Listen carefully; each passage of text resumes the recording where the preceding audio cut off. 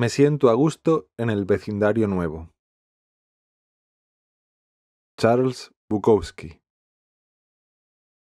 Mi vecino, de nombre Charlie, me sorprende podando el seto y me cuenta que su negocio factura un millón de dólares al año.